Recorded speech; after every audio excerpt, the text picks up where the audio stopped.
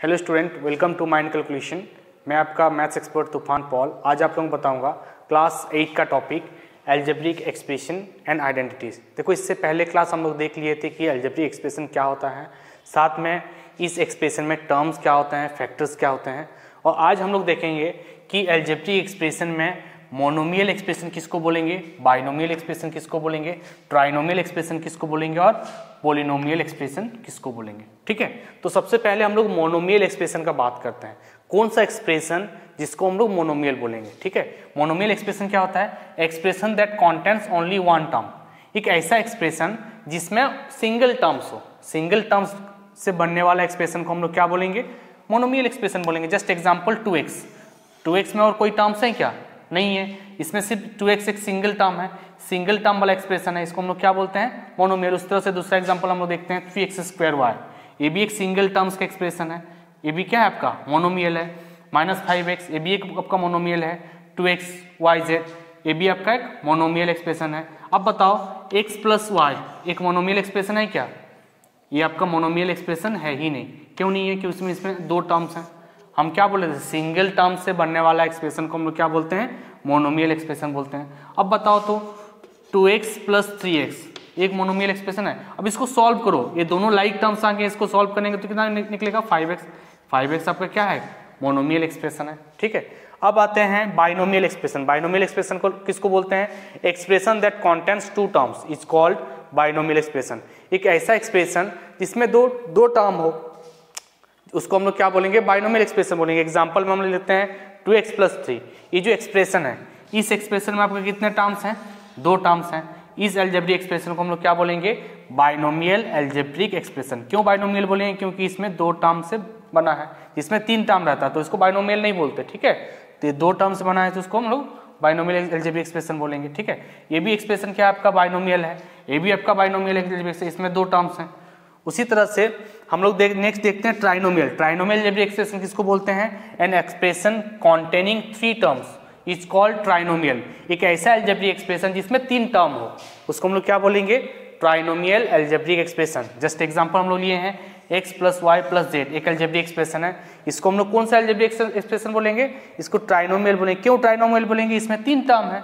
एक टर्म दो term three term ठीक है? उसी तरह से two X minus Y minus Z ये भी एक ट्राइनोमियल एल्जेब्रिक एक्सप्रेशन है। क्यों इसको ट्राइनोमियल बोलेंगे? क्योंकि इसमें तीन टर्म है।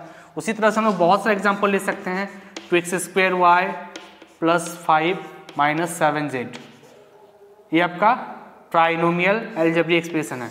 अब बताओ इसमें जेड काट देते। तो इसमें ट्राइनोमियल बनता? नहीं बनता, क्योंकि इसको जब सॉल्व करते तो क्या बनता आपका? Two X square Y five minus seven तो कितना हो जाता आपका टू ये क्या बन गया आपका? बाइनोमियल बन गया। ये आपका बाइनोमियल बन गया ना? तो उसी तरह से हम लोग देखेंगे कि लाइक टर्म्स को ऐड या सब्सट्रैक्ट करने के बाद ही उसको, उस एक्सप्रेशन को नाम देंगे, ठीक है? तो हमेशा इससे पहले क्लास हम लोग पढ़े हैं कि लाइक टर्म्स क्या होते हैं, उसको कैसे सॉल्व किया जाता है। अब नेक्स्ट देखते हैं पोलोनोमियल ये आपका बहुत ही इंपॉर्टेंट है। चीज़ है पोलोनोमियल ये आपका, देखो क्लास नाइन में भी आपको पोलोनोमियल पढ़ना है, आपका टेन में भी पोलोनोमियल पढ़ना है। पोलोनोमियल एक्सप्रेशन किसको बोलेंगे? पोलोनोमियल एल्जेब्रिक एक्सप्रेशन किसको बोलेंगे? पहले जान लो। वन और more terms is called polynomial वो वन टर्म भी हो वन से ज़्यादा टर्म जितने भी टर्म्स हो, उसको हम लोग क्या बोलेंगे? पोलिनोमियल एल्जेब्रिक एक्सप्रेशन बोलेंगे। तो हम लोग ये बात आते हैं तो हमको सिंगल टर्म जो रहता है उसको तो मोनोमियल बोलते थे। देखो मोनोमियल भी एक पोलिनोमियल है बाइनोमियल भी एक पोलिनोमियल है ट्राइनोमियल भी एक पोलिनोमियल है। मतलब पोलिनोमियल के अंदर सब आ जाते हैं। ए भी आ जाता है ए भी आ जाता है आपका ए भी आ जाता है। ये तीनों तीनों चीज़ आपका पोलोनोमियल के अंदर ही आ जाता है, ठीक है? पोलोनोमियल के अंदर ही आता है बट इसमें हम लोग जिसमें सिंगल टर्म है, उसको हम लोग सिर्फ़ मोनोमियल बोलते हैं, जिसमें डबल टर्म होता है, उसको बाइनोमियल जिसमें तीन टर्म होता है ट्राइनोमियल अब तीन टर्म से ज़्यादा जो भी रहेंगे fourth term five term six term seven term nine term hundred term जितने भी रहे, उसको हम लोग क्या बोलेंगे? पोलिनोमियल बोलेंगे, ठीक है?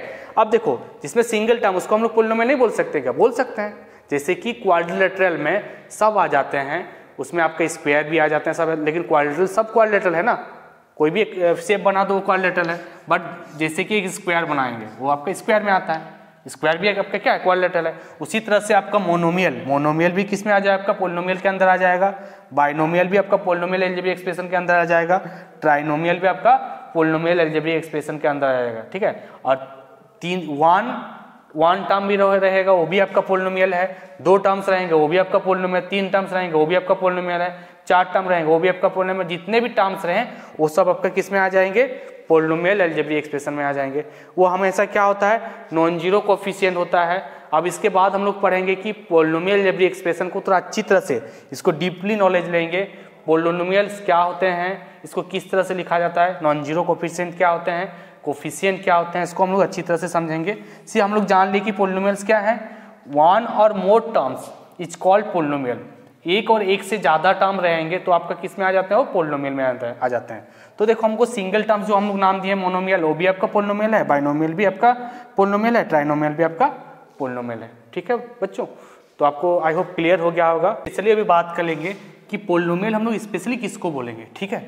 तो पोलिनोमियल एक्सप्रेशन सब पूरा अलग है एक्सप्रेशन कुछ अलग है, उसमें से पोलिनोमियल एक्सप्रेशन कुछ अलग है, थोड़ा सा अलग है। हम लोग को देखते देखते हैं क्या अलग है।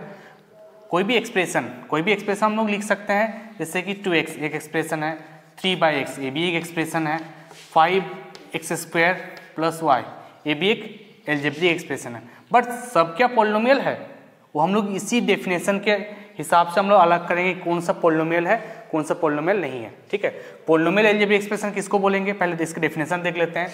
One or more term with non zero coefficient जिसमें वन वन से ज़्यादा टर्म होगा, साथ में क्या होगा? नॉन ज़ीरो कोफिशियंट होगा। मतलब उसका जो कोफिशियंट होगा नॉन ज़ीरो होगा मतलब ज़ीरो कभी भी नहीं होगा, ठीक है? और साथ में क्या होगा?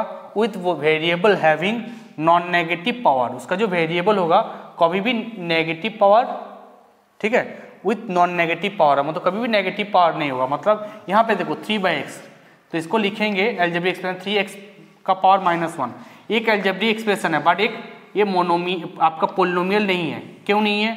ये जो एल्जेब्रिक एक्सप्रेशन को हम लोग पोलोमियल क्यों नहीं बोलेंगे? इसमें जो एक्स का वेरिएबल है, इसका जो पावर है, वो क्या है? नेगेटिव है। ठीक है? हम क्या बात किए हैं? नॉन नेगेटिव होना चाहिए। With variable having non negative power मतलब कभी भी नेगेटिव पावर नहीं होगा। ठीक है? नॉन नेगेटिव होगा। और उसके साथ साथ हम लोग क्या देखेंगे? ये जो है एल्जेब्रिक एक्सप्रेशन वो कभी भी ज़ीरो उसका कोफिशियंट कभी भी ज़ीरो नहीं होगा। तो उसको हम लोग क्या बोलेंगे?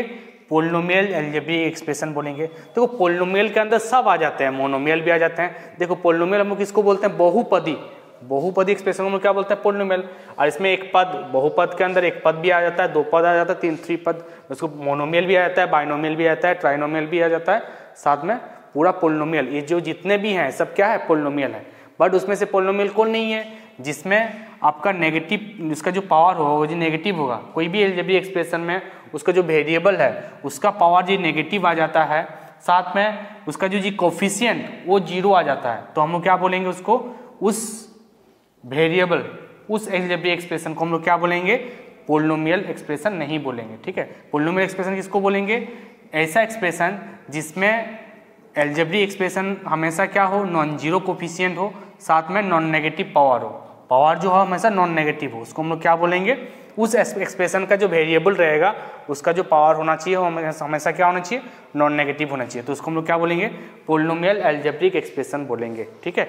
तो देखो पोलिनोमियल क्या इसमें क्या बोला गया है? ये पोलिनोमियल में contains any numbers of term one or more than one मतलब एक और एक से ज़्यादा टर्म्स रहेंगे। तो उसको हम लोग क्या बोलेंगे? पोलिनोमियल बोलेंगे। Two x minus three x y x plus y plus z minus two x x सब एग्ज़ाम्पल है किसका? ये पोलिनोमियल एल्जेब्रिक एक्सप्रेशन का।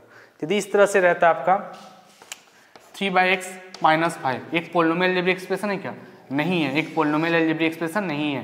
क्यों नहीं? इसमें जो वेरिएबल है वो नीचे आ जा रहा है। इसको जब सॉल्व करेंगे तो थ्री इंटू एक्स का पावर इनवर्स आ जाएगा। तो इसको हम लोग क्या बोलेंगे? ये एक एक्सप्रेशन है बट एक पोलिनोमियल एल्जेब्रिक एक्सप्रेशन नहीं है। ठीक है? तो बच्चों क्लियर हो गया होगा? कोफिशियंट कोफिशियंट क्या होता है? The numerical factor of a term is called its numerical coefficient or simply coefficient. The coefficient in the term 7xy is 7 and the coefficient of the term minus 5xy is minus 5.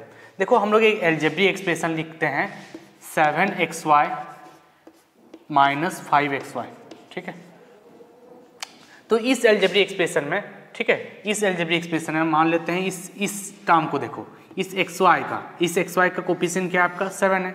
ठीक है? दूसरा algebraic expression दूसरा algebraic expression है five x y इसका coefficient क्या है आपका? Five इस वेरिएबल के साथ क्या कांस्टेंट मल्टीप्लाई है, वो हम लोग देखते हैं। उस टर्म का जो वेरिएबल है, उस टर्म का जो वेरिएबल है, उस वेरिएबल के साथ क्या मल्टीप्लाई है, वो होता है आपका जो कांस्टेंट मल्टीप्लाई रहता है, वो कांस्टेंट आपका क्या होता है? कोफिशियंट होता है। जैसे कि algebraic expression seven x y है। इस एल्जेब्रिक एक्सप्रेशन में आपका वेरिएबल क्या एक्स वाई वेरिएबल इस वेरिएबल के साथ कांस्टेंट क्या मल्टीप्लाई है? सेवन इसका क्या हो गया? सेवन कोफिशियंट हो गया। ये five x y x y के साथ क्या वेरिएबल मल्टीप्लाई है? फाइव तो कोफिशियंट क्या होगा आपका? फाइव उसी तरह से हम लोग देखते हैं दूसरा algebraic expression two x plus three y minus five z तो इसमें पूछा जाता कि x x का कोफिशियंट क्या है आपका? एक्स का कोफिशियंट टू है। वाई का कोफिशियंट क्या है? वाई का कोफिशियंट थ्री है। जेड का कोफिशियंट क्या है? माइनस फाइव है। तो इसमें क्या देख रहे हैं कि x का कोफिशियंट मतलब x वेरिएबल के साथ क्या कांस्टेंट मल्टीप्लाई है? क्या मल्टीप्लाई है? टू मल्टीप्लाई है। तो x का कोफिशियंट क्या हो गया आपका? टू हो गया। उसी तरह से y का y का कोफिशियंट क्या होगा? उसमें जो कांस्टेंट मल्टीप्लाई है होगा इसमें मल्टीप्लाई क्या आपका? थ्री है। तो आपका y का कोफिशियंट क्या हो गया? थ्री z z एक वेरिएबल है। इस वेरिएबल के साथ क्या मल्टीप्लाई है? माइनस फाइव तो z का कोफिशियंट क्या होगा आपका? माइनस फाइव हो गया। तो आई होप सबको समझ में आ गया होगा। तो जिन लोग, आप लोग इस चैनल में नए हैं उन लोग आप इस चैनल को सब्सक्राइब भी कर दीजिएगा और शेयर भी कीजिएगा। थैंक यू दोस्तों।